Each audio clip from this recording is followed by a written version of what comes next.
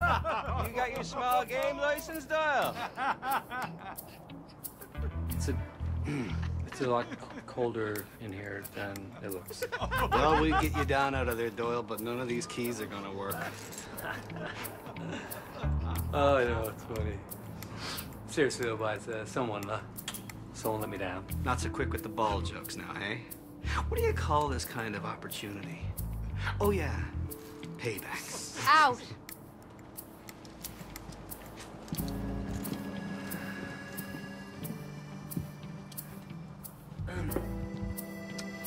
I don't even want to know. No, there was a woman. She had a gun and she made me undress.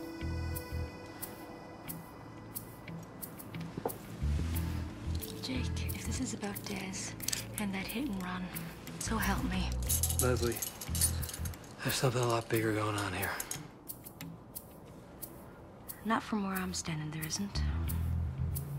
You have no regard for the consequences of your actions or the effect your choices have on other people. Des could have been killed, and God knows how many other countless people have been crippled in your wake. Where the hell's all this coming from?